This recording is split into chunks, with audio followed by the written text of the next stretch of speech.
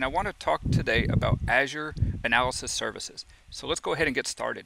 As you can see we're logged on to the portal on the Microsoft Azure site and we'll go ahead and click on the plus button to add a new service. We'll type in Analysis Services and we'll go ahead and create.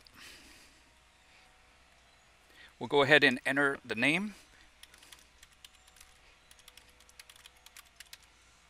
We've already selected a subscription, a resource group. We'll select from the established one. We'll create the location, the pricing tier. We'll just click on the B1 for now.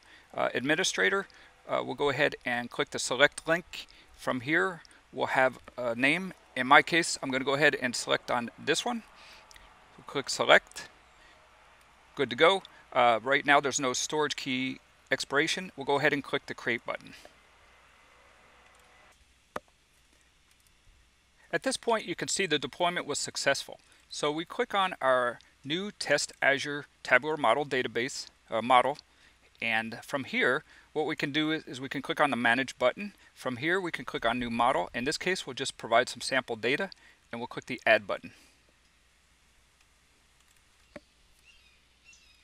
Now that our tabular model has been created in Azure, we can see it in the Azure portal. What we'd like to do next is to click on the Manage button here, and from there you'll see that the AdventureWorks database was created. From here we have a few options. We can open in Web Designer, which is being deprecated. We can open in Excel as an ODC file, or we can open in Power BI Desktop, or lastly we can open in Visual Studio. Another nice feature is that it can also be viewed from SQL Server Management Studio 2017. Here you can see we've already connected to the new uh, tabular model and these are the, the tables that are comprised the tabular model. So that's great. What else can we do? Well, we can also ingest the tabular model into our Visual Studio 2017 SSDT. And the way that we did that was we created a new project and we imported from a model. We entered the URL credentials and we were able to uh, download the credential objects into this nice SSDT Visual Studio formatter. And from here you can see that the measures are there as well as the tables and you can also uh, build the project as well as redeploy the project. So let's say you want to make some enhancements or modifications, that's how you would do that. Lastly, let's go ahead and show you the Power BI.